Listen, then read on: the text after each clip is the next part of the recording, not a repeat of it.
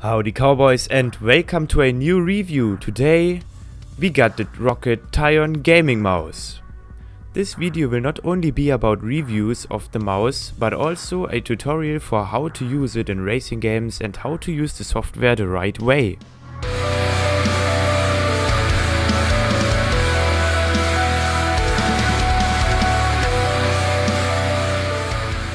First off, let's talk about the specs of the Roccat Tyon mouse. Its sensor is an 8200 Pro Aim laser sensor R3 which already was used in the Roccat Kone XTD which I had before.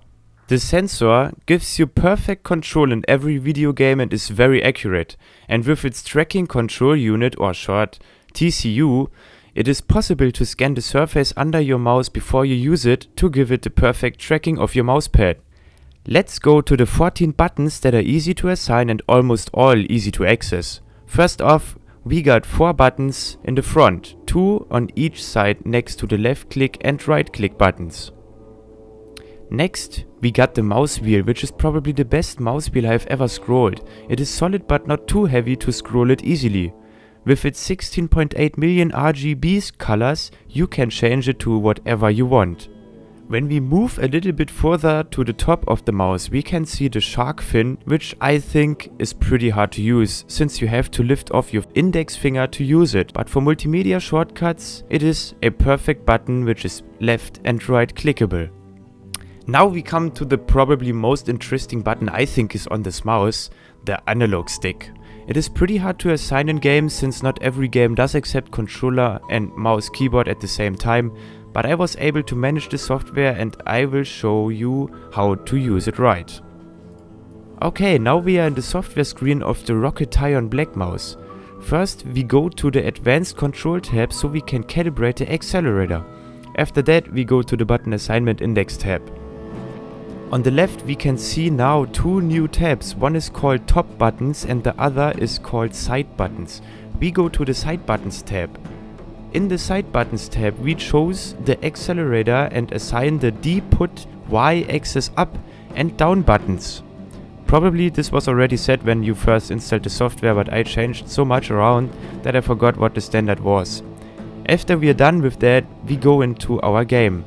For now, I chose Dirt Rally and American Truck Simulator since these are the games where I found the option to use the analog stick and the keyboard at the same time.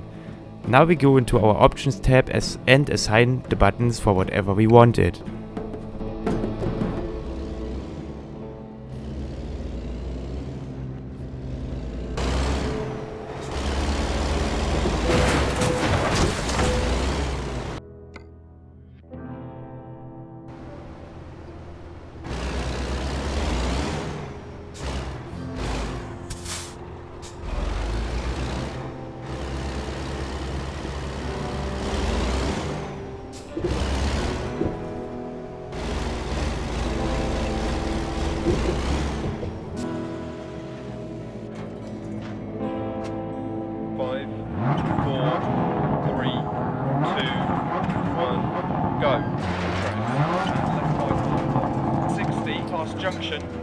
Right four times three, 60 past junction.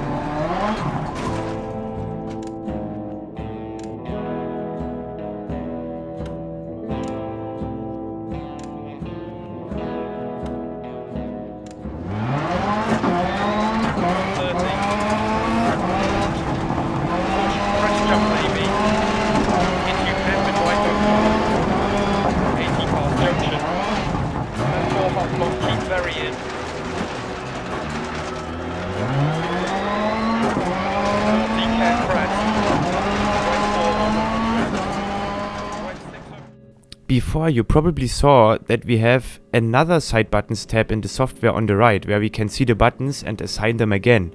That is the easy shift function. The standard easy shift position is the thumb button on the bottom of the mouse. But I thought that it is a bad position for the easy shift button, so I switched it with the number 4 button on my mouse. But still, I do not think that it is easy to click the easy shift button and at the same time using the analog stick since the thumb is already on use of the easy shift button. And since you cannot assign any other button on the right with the easy shift buttons, you will have a hard time to use it. Please Roccat fix something. Okay, now that we have the most important buttons shown, we can go to the lighting of the mouse. As I said before, you can give the mouse wheel 16.8 million different colors, but that is not the only light source on the mouse. On the sides of the Tyon, you got another light strip that goes around the whole mouse. This light source can be assigned with another color, so you can use two different colors on one mouse. So mouse wise, there's not much else to say. In the software you got another tab called the main control tab where you can change the DPI of the mouse with 5 different profiles and the scroll speed. In the advanced tab you also can activate the sound feedback which tells you if you changed your DPI and lowered or raised your volume. In the color control tab you can, as the tab already says, control your colors of the mouse and enable some light effects like blinking or heartbeat and a color flow which I think looks much nicer on my Kone XTD, but I cannot show you that because the front LEDs on my Kone died. Then we got a red tab or RAD, which means Roccat Achievements Display. In this tab you can see how much clicks you made with the most important buttons and share your trophies directly online. Okay, I think that's it with the review of the mouse. I think it is a pretty amazing mouse with a lot of extra buttons, which are pretty useful. The analog stick is a nice to have feature, but in the end not really usable for me, since I got a controller and the most games don't recognize the accelerator anyway. But the ergonomic of the mouse is just amazing and it feels really good. And one tip, disconnect the mouse when you want to play Dark Souls because it does not work. So yeah, I hope you liked this video and I hope I see you in my next one. Until then, bye.